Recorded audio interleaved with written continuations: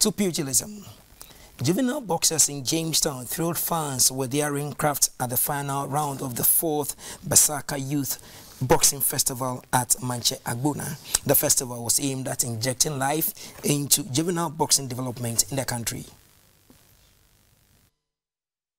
The 2022 final of the Besesaka Foundation Juvenile Boxing Festival was full of action as young pugilists, both boys and girls, mounted a ring to exhibit their ring craft after 10 weeks of coaching and mentoring by organizers. Besesaka Foundation is a community organization that combines boxing, education, and leadership to unlock the full potential of children in Jamestown. The day was also to celebrate the hard work of the boxers. The founder of Besesaka Foundation, James Norte, touched on some positives his outfit has chalked up so far. The big focus of our project is not only boxing.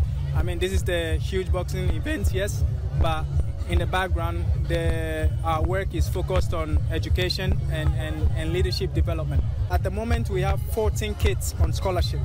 Um, and throughout the year, we get to see all kinds of different um, kids who want who wants to box and who wants to be part of our project. Um, and we we select them by categories. So if you're doing well in school, uh, if you have a leadership quality, um, and also if you're doing well in boxing.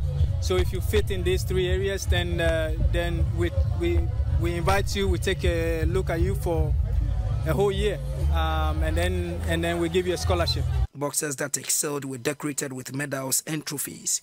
The 2022 theme was equipping young boxers for a better tomorrow.